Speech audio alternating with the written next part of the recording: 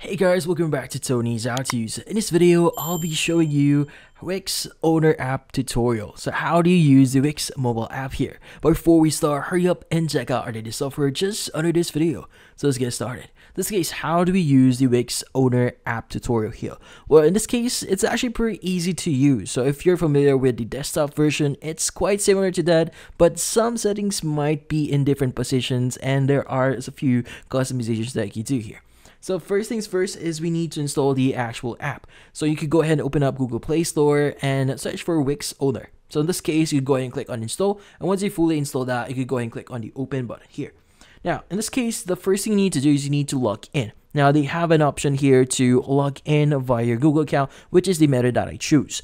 Now, in this case, depending on the Google or for example the uh, account that is logged in on your Google Play Store, they will get that email address and use that as a means of logging in into your Wix account.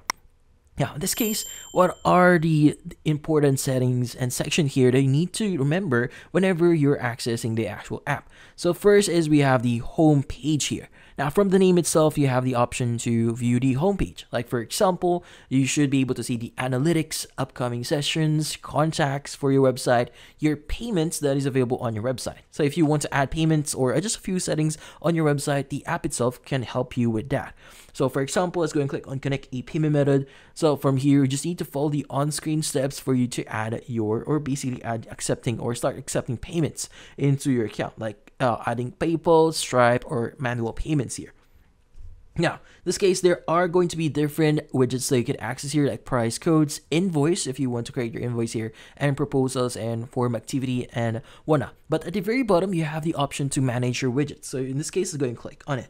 Now, in this case, you have the option to delete widgets here if you want to, like for example, proposals, if you want to delete them. And yeah, so in this case, uh, for example, I want to remove the option for media storage here. As you can see, that this will be removed from my widgets. But if you want to re-add it again, you could go and click on the plus button here and even reposition them in whatever method. Like for example, the first thing you want to see in your um, uh, homepage here is going to be your, let's just say this is going to be the um, push notification section. Let's go ahead and press hold in it and make sure that we actually position it at the very top here. And once you're done, just click on save at the top right. And when we, whenever we go to our uh, website, as you can see in our homepage, we now have the push notifications at the very top. Now, what are the other things that we could do here in our homepage? Now, at the very top, you also have the option to view your uh, website itself. So if you have multiple websites, you can manage them in here. So in this case, let's go and click on the website name itself. And as you can see, we now have the option to change to a different website if you want to. So for example, I want to go to this website here that I have that is published right now. And from here, it should switch us to that specific website. As you can see, switching uh, complete. Now, in this case, you can change a few things well here by clicking on the profile icon at the top left, and you should be able to see your actual profile. So, and this includes uh, uh, changing your notification, uh, notification settings, app language, app display, help articles, and if you want to log out, you can go and click on log out here as well. Now, if you want to manage your account settings, you go and click on the appropriate link here and change your basic info, login info, and even add two-step verification just to secure your account and even delete your account if you want to. Now in this case, at the top right, you have your notifications. So in this case, this is where your notifications uh, will be uh, redirected. Now if you click on the three dot icon here, you have the option to view your live site, share URL of your website here, or go to the site and app section. Now, when you go to the site and app section, you have the option to connect a domain if you want to share URLs or even view the actual website. So in this case, you have the option to uh, customize or invite members or even view this one and get your site discovered. So there are going to be a lot of things that you can uh, do here basically. So if you want to connect your domain, just click on connect domain here and just follow the following steps for you to connect your domain.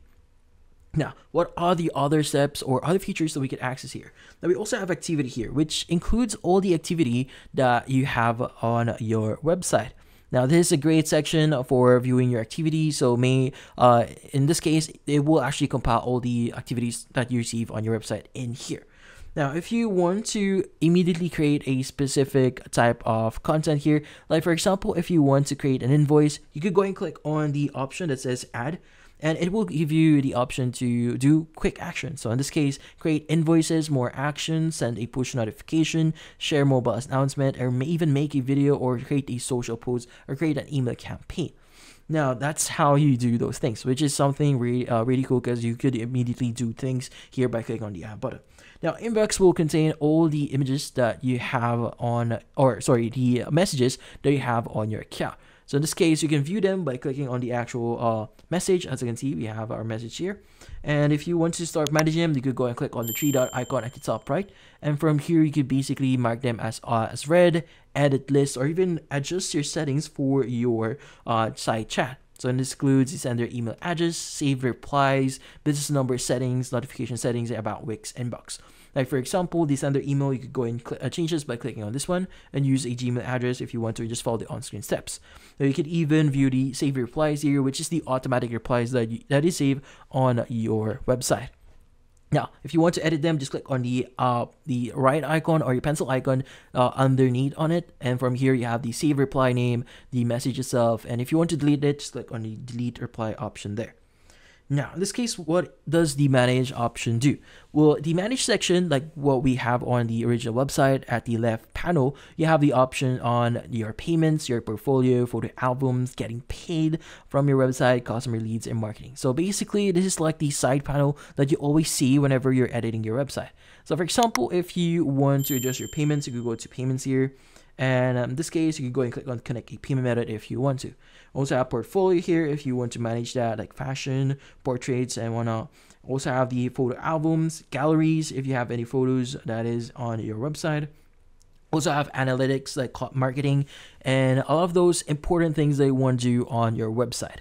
So uh, in this case, uh, using the actual website is pretty easy.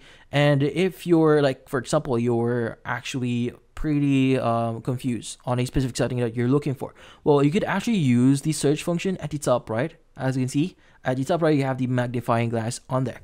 So you could go and click on it. Like for example, I want to say it is going to be payment. So as you can see, we have the payments uh, setting here available for us if you want to. So yeah, so using the search function here allows you or actually helps you uh, be uh, informed on wh where things are actually at or uh, find a quick uh, setting itself in just in case you, you are not yet that used to the actual mobile app. So use the search function here. It's actually pretty, pretty helpful. So, by the way, you could again uh, go to your uh, site here, and if you like, for example, if you want to create a new website, you can go and choose the create new option at the very bottom and go through the whole process. So if you're familiar with creating a Wix website, you just need to complete the uh, following options here, like the uh, categories, the name for the website, and whatnot. So yeah, so I also have the option to view the trash here, so websites that you've deleted before. So you should be able to recover them in this section here. So yeah, so those are the basics that you need to know uh, to, for you to start using the Wix owner app here and that's about it. So if you found this video helpful, hit the like and subscribe button and watch our next video.